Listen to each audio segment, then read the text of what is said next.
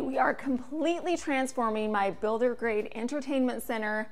I have never liked it and I've been working tirelessly on this for weeks and I cannot wait to show you. Let's get out those hammers and crowbars and start the demo.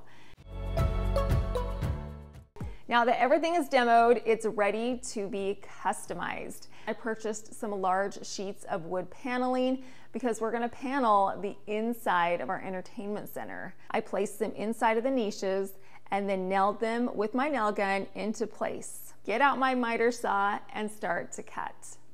I got my nail gun back out and I nailed everything in place. I got my paint sprayer and I sprayed everything. This looks so good.